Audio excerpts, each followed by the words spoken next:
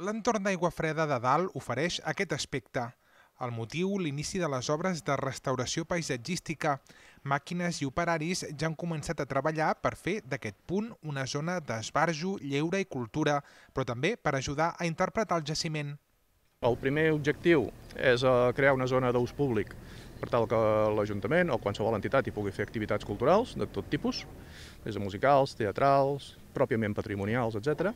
I per l'altra és la posada en valor del jaciment arqueològic de, de la cova cripta, que se li diu tradicionalment, i així li diem encara, d'aigua freda de dalt, que és museïtzar, consolidar i posar-hi elements interpretatius a les restes arqueològiques per tal que la gent que ho visiti amb aquest objectiu o simplement vingui a fer les activitats culturals pugui entendre el jaciment arqueològic de què es tractava. Els treballs serviran per construir un gran accés en aquest punt, seguit d'unes escales naturals per al públic i, a baix de tot, un punt on desenvolupar les activitats. Tot plegat serà una nova fase de la reconstrucció de la zona. Primer vam començar amb el comunidor, ja el tenim fet. La segona fase va ser arreglar la masoveria, ja està feta. I ara arreglem l'entorn.